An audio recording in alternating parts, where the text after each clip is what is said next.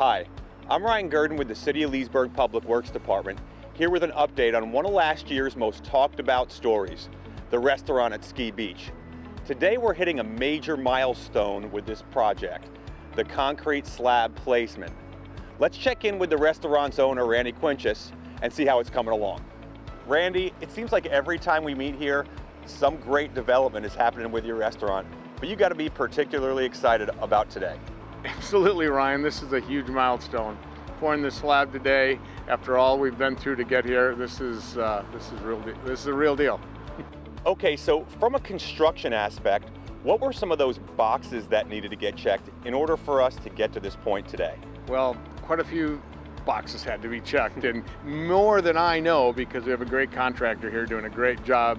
Jim Vernon with Foundation Services is doing outstanding getting those boxes checked.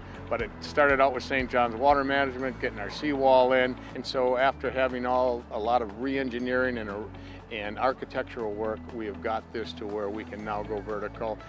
Uh, Romac Lumber is, is ready to pulling our pulling our lumber right now to get over here next week to start to, to, to go vertical. Well, that leads us into our next question. Um, you've kind of got us accustomed here in Leesburg to seeing great things with this project.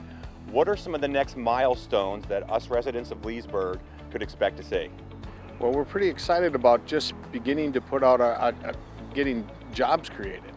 We, we are going to probably hire somewhere in the vicinity of 100 people here at Ski Beach for because we're open seven days a week, lunch and dinner every week. So we we, need to begin to start pulling those people in and start interviewing and looking for the best people to give the best customer service and, and get things going here in the county. All right, Randy, so again, the million dollar question. You haven't forgot about that fat cheeseburger I want to get on day one grand opening, have you? Absolutely not, Ryan. We're so excited to bring food to this site. It's unbelievable. And uh, we got you covered. Well, we're pretty excited too. So there you have it. More great developments here at the Ski Beach Restaurant. For more on this or other great things going on in the city of Leesburg, visit our website at www.leesburgflorida.gov or follow us on Facebook.